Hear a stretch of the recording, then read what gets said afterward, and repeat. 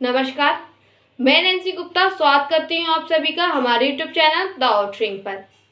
Jasmine Bhasin से शादी करेंगे अली गोनी एक्टर ने वीडियो शेयर कर कहा, बात पक्की हो गई है। टीवी के पॉपुलर कपल जैस्मिन भसीन और अली गोनी जल्द शादी करने वाले हैं।